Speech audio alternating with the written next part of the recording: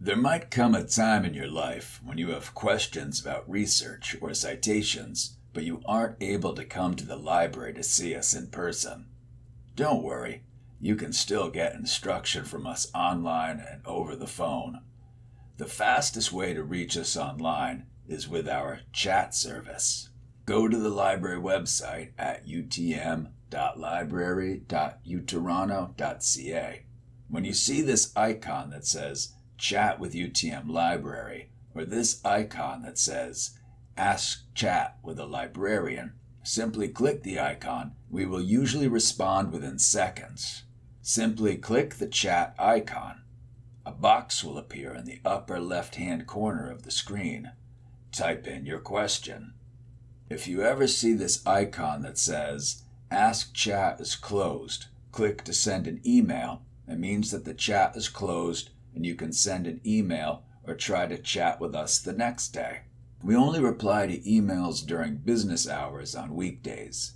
Chat is particularly useful if you need help immediately. But if you've got the time, then an even better way to get instruction is to schedule a Zoom meeting by booking a research consultation. Research consultations over Zoom are the best because it is like meeting in person. On the UTM Library homepage, click Help. Then click Reference and Research Help. Then click Book a Research Consultation.